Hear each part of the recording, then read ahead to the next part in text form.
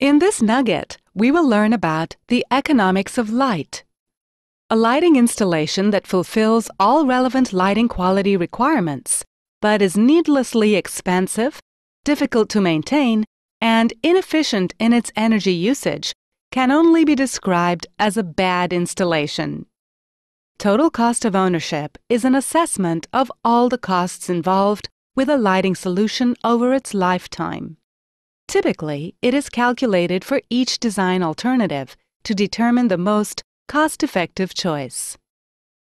At this point, many cost factors are estimated. It is a part of the quality process of designing an installation to determine these estimates reliably. The investment cost for a particular lighting installation can be split up into several sub-factors. Initial purchase costs of lamps, luminaires, ballasts, and lighting controls. Additional costs of mounting components and electrical components. Installation costs. The most important running costs are those involving energy costs, lamp replacement costs, maintenance costs, amortization. The major running cost is the cost of energy. The lighting, apart from meeting all the other requirements, must also be as efficient as possible so as to keep the electricity consumption to a minimum. Maintenance costs represent a relatively small part of the total annual cost. Ease of maintenance, however, is essential in order to guarantee a proper functioning of the installation throughout its lifetime. Where access to the luminaires is difficult or would hinder normal workflow, it is especially important to ensure that the need for maintenance is minimized.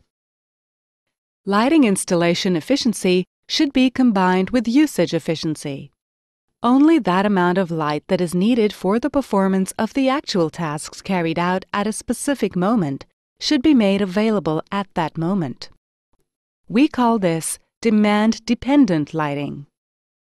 Modern lighting control systems should offer far more possibilities than a simple switch on, switch off function.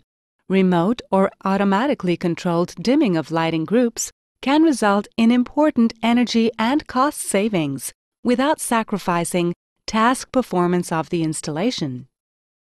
Task dependent lighting control is relevant for all lighting application fields, ranging from indoor lighting to road lighting density in indoor lighting installations, an efficient control system should also take advantage of daylight by dimming and switching off the artificial lighting at those moments and places where enough daylight enters the indoor space.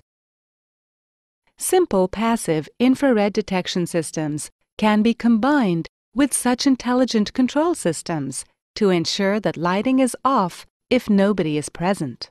Thank you.